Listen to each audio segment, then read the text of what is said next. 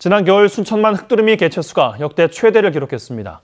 2,500마리가 넘었는데 생태적 가치가 높은 만큼 먹이 공간 분산이나 조류 바이러스 대책의 필요성도 커지고 있습니다. 박민주 기자입니다.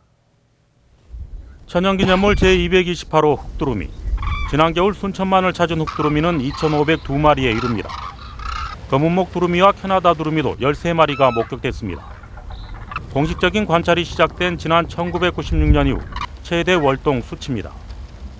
순천만 흑두루미는 초창기 100여 마리 안팎에서 지금은 20배가 늘어나 2천마리가 넘는 국내 단일 장소로는 최대 월동지가 됐습니다. 사람들의 간섭이 적은 순천만의 넓은 갯벌에 안정적인 먹이 공간이 서식에 큰 영향을 미쳤습니다. 흑두루미가 늘어난다는 것은 이제 여기에 풍부한 먹이 자원과 아무래도 보호 활동이 있기 때문에 이제 점점 점점 늘어나는 걸로 추정이 되고 있습니다. 하지만 늘어난 개체 수는 과제도 낳고 있습니다.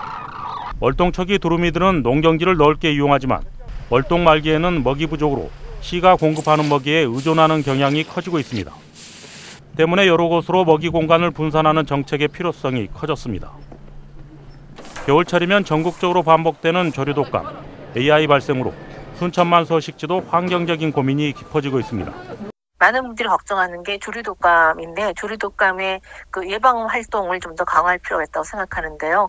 특히 축산 농가와 직접적으로 접촉이 일어나지 않도록 이런 것들이 필요하다고 생각을 합니다.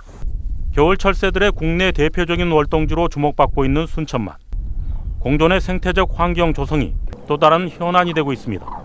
MBC 뉴스 박민주입니다.